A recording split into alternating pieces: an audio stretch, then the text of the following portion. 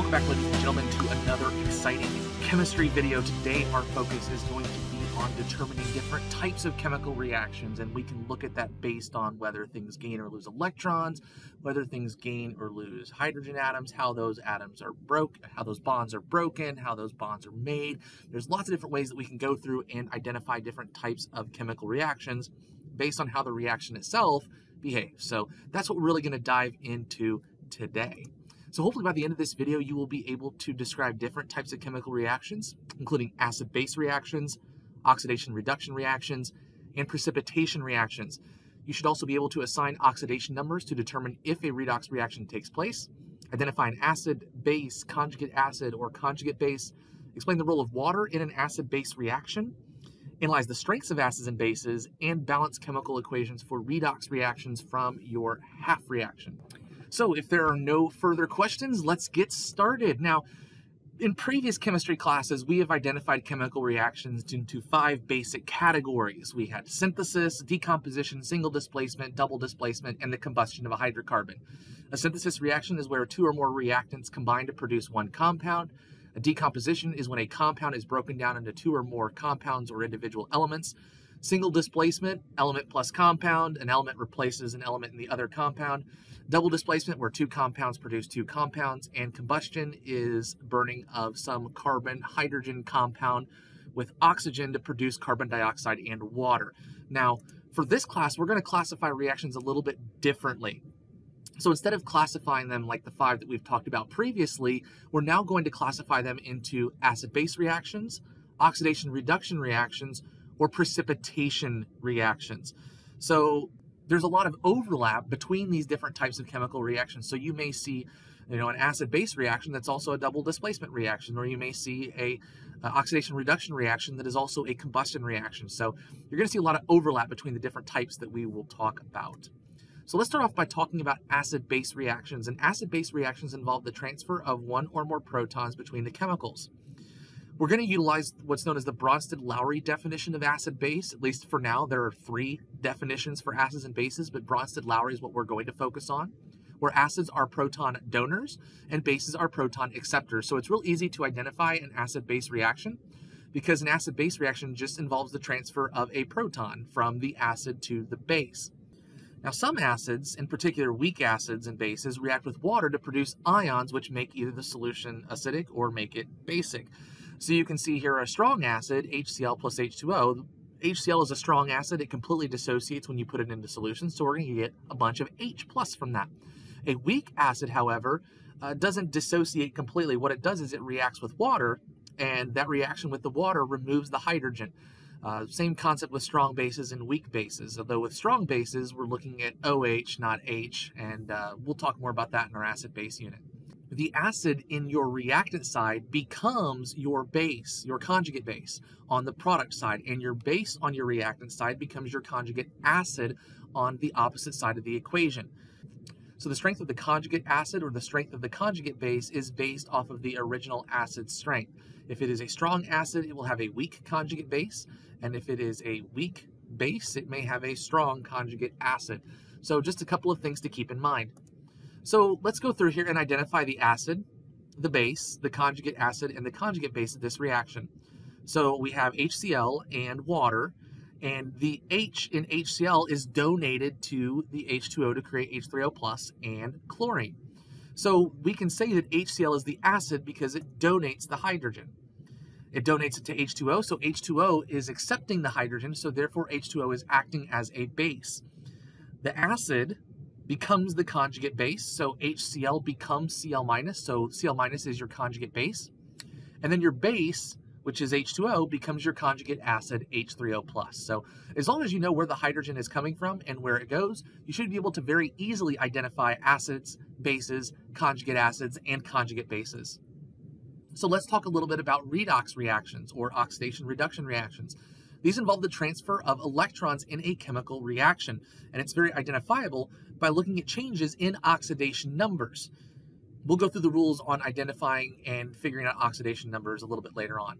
But oxidation is the losing of electrons and reduction is the gaining of electrons. Now that seems a bit counterintuitive, reduction is gaining. But the easy way to remember that is oil rig. Oxidation is losing, reduction is gaining. So before we dive into that, let's figure out how we determine oxidation numbers. Here are some rules that you're going to want to remember in terms of discovering and finding oxidation numbers. All elements in their natural state have an oxidation number of zero. Group 1, 2, and 3 compounds are always plus 1, plus 2, plus 3. Fluorine is always minus 1. Hydrogen's usually plus 1. It can be minus 1 in hydride compounds. Oxygen is usually minus 2. The only real exception to that is a peroxide. And chlorine is usually minus 1 unless it starts a chemical compound. But if you know the usually rules and really consider them always rules, you probably should, will be fine. And then based on those numbers, we can utilize some concepts that we've talked about previously in nomenclature to be able to identify the oxidation numbers of things that aren't in this particular rule book. You'll see what I mean here in just a moment. So let's identify the species oxidized and reduced in the following chemical reaction. So let's take a look at CuO as an example. O is always a minus 2, so Cu here is going to be a plus 2. We notice that there's no charge on CuO, so the oxidation numbers have to balance out, just like what we would do when we were doing nomenclature and determining Roman numerals or determining what types of subscripts we're going to put on there. Now, again, oxygen, usually minus 2, so the C is going to be a plus 2.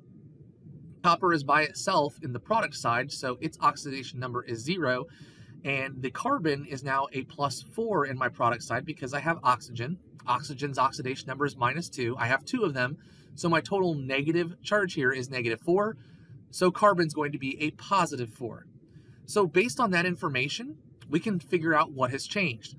Oxygen in a compound is almost always minus 2, so Cu has to be a plus 2 to balance the oxidation numbers. And the same can be said for carbon and carbon monoxide. Cu by itself is always 0, and the carbon in CO2 is a plus 4 since it bonded with two O's with a negative 2 charge. So let's think about what changed oxidation numbers. To summarize, copper goes from a 2 plus to a 0, and carbon goes from a 2 plus to a 4 plus. So we need to figure out, based on that information, which gained electrons and which lost electrons. Well, copper gained two electrons because remember, electrons have a negative charge. And as a result, that changes the oxidation number from a positive 2 to 0. Car carbon, on the other hand, lost two electrons because it goes from a 2 plus oxidation state to a 4 plus oxidation state. So because copper gained electrons, we say that it is being reduced. Remember, oil rig, reduction is gaining. Carbon lost two electrons, so because it lost, we say that carbon is oxidized in this reaction. So by going through and identifying the oxidation numbers of every single element in these compounds, identifying what changed as a result of the chemical reaction, we can easily figure out what is being oxidized and what is being reduced. If something is being oxidized, something is also being reduced. So in the end, we would say that copper is reduced and carbon is oxidized. Now, something that's really important to be able to do is to write out half reactions with this. So what we do is we consider those electrons very much like we would consider a reactant or product. Copper gained two electrons, so I'll have copper with my plus two charge on the left side, and it gained two electrons, so because it gained them, we'll consider them a reactant. And those become solid copper at the very end. Now at the very bottom, we had copper that was a 2 plus charge. It lost those electrons, so we consider those part of the product. And as a result, we end up with carbon with an oxidation number of 4 plus. So we think about these things in terms of reactants and products, what's being gained, what's being lost, and you can very easily write out your half reactions for these equations. Now again, half reactions can be used to determine full and balanced chemical equations. So you would just combine these reactions together to get your full redox reaction. The only difference here that you need to make sure that you're aware of is that your electrons need to cancel. So what that means is that, for example, what's being reduced in the very top has three electrons that are being lost, and at the bottom is two.